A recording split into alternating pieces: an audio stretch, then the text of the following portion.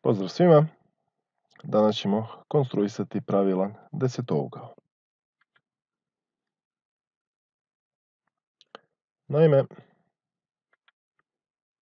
ajde da konstruišemo pravilan desetougao koji je upisan recimo u krug poluprečnika 6. U prvom delu ćemo objasniti e, zašto je to moguće uraditi, a u drugom delu ćemo korak po korak i uraditi konstrukciju, te pripremite šestere ili.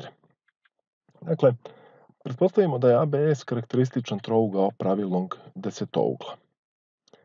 To znači da, evo ga, karakterističan trougao, dakle ABS, to znači da je AS isto što i BS, to su poluprečnici opisanog kruga i naravno ovaj trougao je jednakokraki.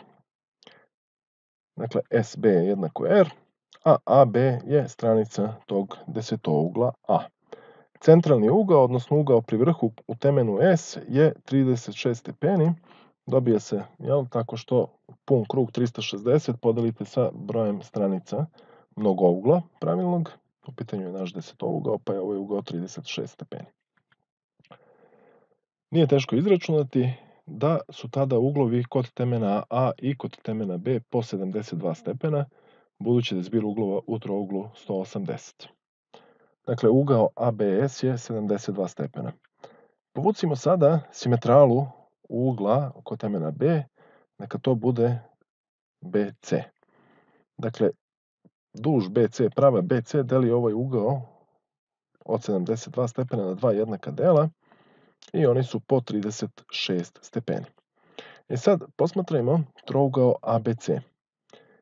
Znamo da je u ovom trouglu ugao kod temena A 72 stepena, znamo da je ugao kod temena B, ovaj plavi ugao 36 stepeni i može se izračunati da je tada ugao kod C 72 stepena.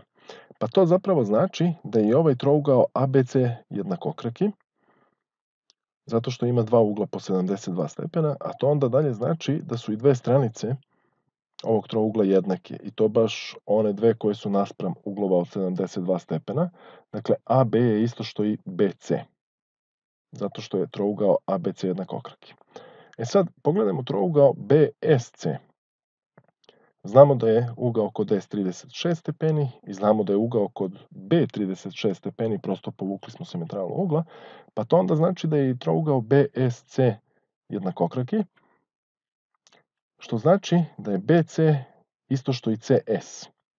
Kako smo malo čas već pokazali da je AB jednako BC, a sad znamo da je BC jednako CS, sve ove dužine su jednake stranici pravilnog desetougla, dakle jednake su A.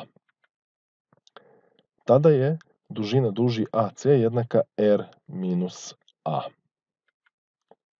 Kako je trougao ABC sličan trouglu ABS, to su njegove, njihove stranice proporcionalne. Trougao ABC, jel, ugao pri vrhu je 36 i trougao ABS je isto tako jednakokraki ugao pri vrhu 36 stepeni, pa su oni slični, što dalje znači da su im stranice proporcionalne. Pa ako pogledamo trougao ABC, odnos osnovice i kraka u trouglu ABC mora odgovarati odnosu osnovice i kraka u trouglu ABS. Osnovica u trouglu ABC je R minus A, krak je dužine A.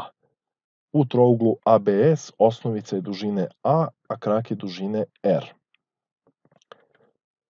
Dakle, može se napisati da je a na kvadrat jednako r što množi r minus a. Nakratko, pre nego što nastavimo dalje, hajde da pogledamo šta zapravo znači ova proporcija na duži AS. Duž AS je podeljena tačkom C na dva odsečka. Manji odsečak je R minus A, a veći odsečak je A. Mi iz ove proporcije vidimo da je tačka C takva da se manji odsečak naprema većem odsečku odnosi isto kao i veći odsečak naprema celoj duži. Tako, dužina AS je zapravo R, poluprečnik opisanog kruga.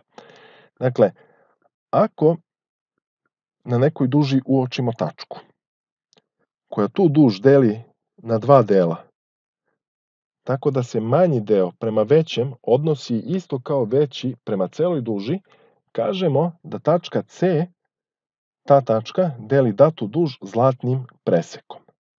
Dakle, tačka C deli duž AS po zlatnom preseku. Sada ćemo vidjeti kako se konstruiše ovakva tačka. Dakle, kako konstruisati tačku C koja će duž AS podeliti u zlatnom preseku ili proizvoljnu duž podeliti u zlatnom preseku. Zbog čega nam je to bitno? Pa to nam je bitno zato što se iz priloženog može vidjeti da će veći deo te duži, duži CS, je zapravo isto što i AB, dakle stranica pravilnog desetougla. Pa ako hoćemo da konstruišemo pravilan desetougao, onda je korisno znati kako se konstruiše tačka koju duž deli u zlatnom preseku, zato što će deo te duži biti zapravo stranica pravilnog desetougla.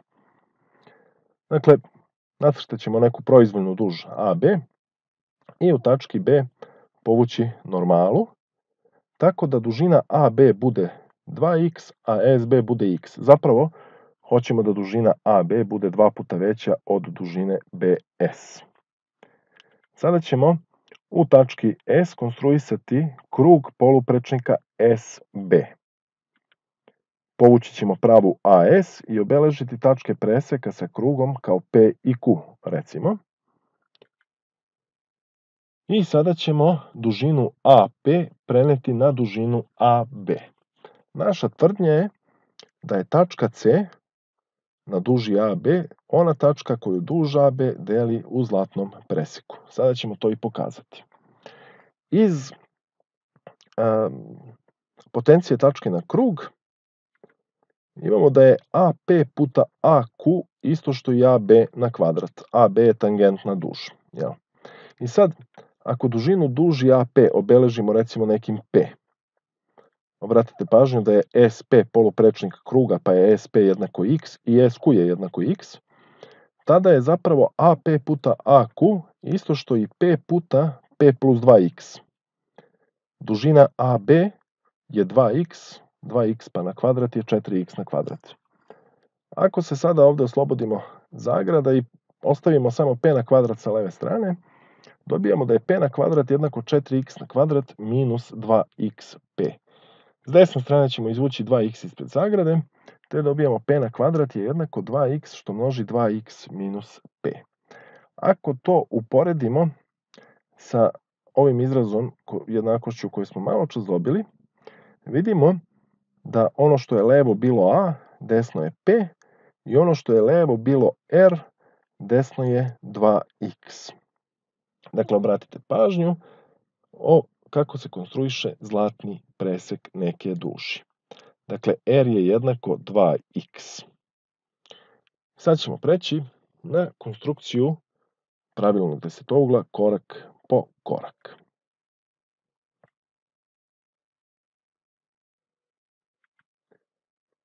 Dakle, konstruišemo krug sa centrom u proizvoljnoj tački S poluprečnika 6 cm.